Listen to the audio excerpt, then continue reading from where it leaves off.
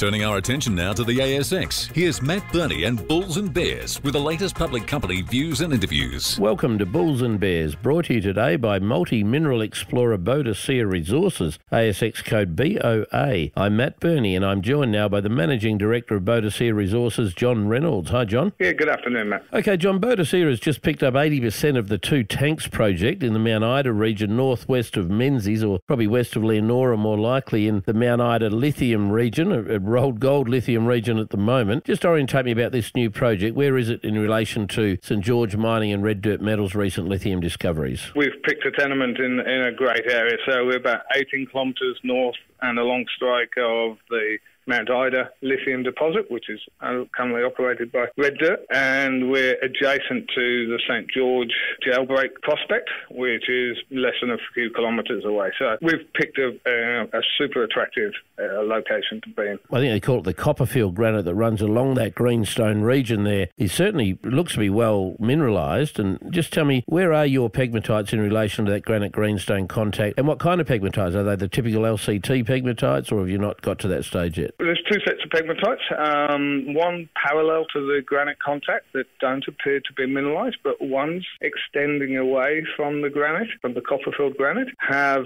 certainly got some indicative uh, geochem, as you say, the, the LCT. Early days from our testing, but we have guys on site now uh, having a look at that ground, and we'll get some more information shortly with a drill program planned for late this quarter. When I look at it on a map, it would appear that the tenement boundary between Boadicea and St George pretty much sort of cuts right through the middle of that pegmatite field. Uh, have you studied St George's numbers at their jailbreak prospect? What sort of lithium results are they Yeah, we're very interested in their drilling, uh, their current drilling, because they are drilling right up to our boundary. That will give us the first indication of the prospectivity. And obviously, jailbreak has been indicating upgrades of up to 1.8% lithium. There's fertile prospectivity in the short term. It's an exciting prospect for us. Jon Reynolds from Boadicea Resources, thanks for joining me on Bulls and Bears. And remember, we're only here to give you information, not advice, which you should, of course, seek independently. I'm Matt Birney, and this is Bulls and Bears. For more public company interviews, go to the Money page on the 6PR, 2GB, 3AW, and 4BC websites and click the Public Companies tab.